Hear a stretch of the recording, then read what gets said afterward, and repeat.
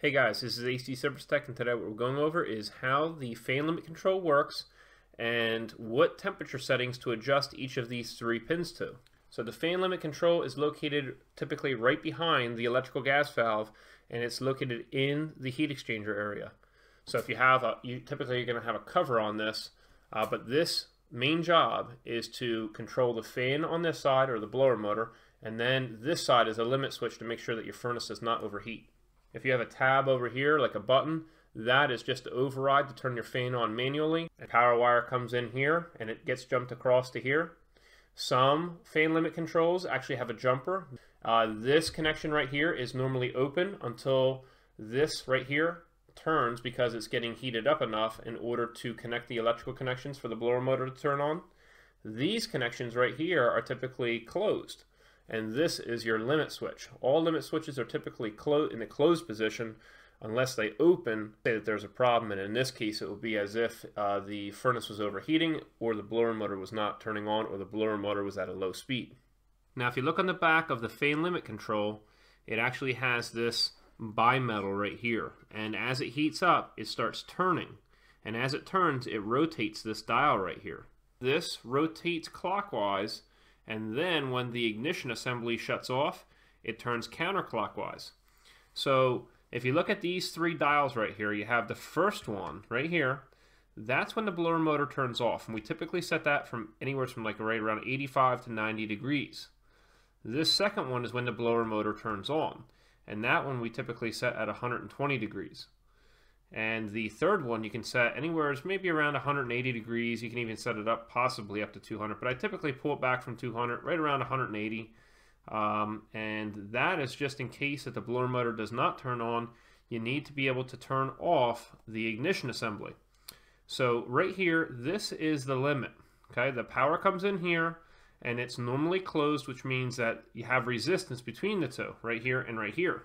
So if we were to test between here and right here, we should have 0.0 ohms of resistance. So if this dial was to turn all the way until it hit the limit, now you see that the uh, wire connection inside is disconnected. So you have OL, meaning over limit. All right, so anytime that the fan limit is below 180 degrees, it's actually connected and the ignition assembly can fire. Over on this side, you have your power coming in, and right here you should have OL, which you do have. So now when we go ahead and turn the dial, this would be as if the uh, fan limit was at 120 degrees. You see that we have 0.0 ohms of resistance, meaning these two connections are now connected. And that's when the blower motor can turn on. When we take this dial backwards, you see at 90 degrees, the connection has now opened up and it reads OL. So that means that the blower motor is off. Now the reason that we have this set at 90 degrees for when the fan turns off, the reason for that is because sometimes the adjustment for the bimetal right here might get a little off. And we want to make sure that our fan actually does shut off. So we want to make sure that this 90 degrees is higher uh, than what the temperature is set at on the thermostat. So that's why we set it at typically like 15 degrees, maybe 20 degrees higher than what it is set at in the building. Uh, the 120 degree fan on, which is the second uh, pin right here, the reason we have it set at 120 is say a building is 70 degrees on the inside. So the temperature rise on a gas furnace is typically around 50 degrees. So 70 degrees in the house plus 50 equals 120, and that's why we have that second dial set at 120. An oil-fired furnace might be 60 degree temp rise, so if it's 70 degrees in the building, you know, it might be continually operating at 130 degrees.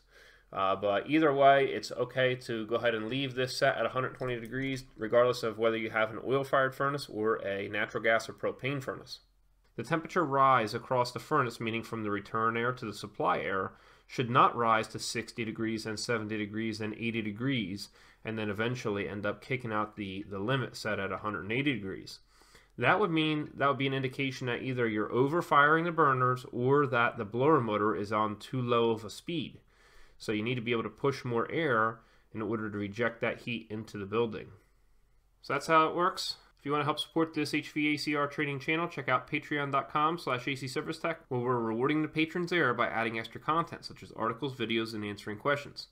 And if you're looking for the tools used in this video, such as the DL479 uh, or DL469 multimeter by UEI, I have that link down in the description below.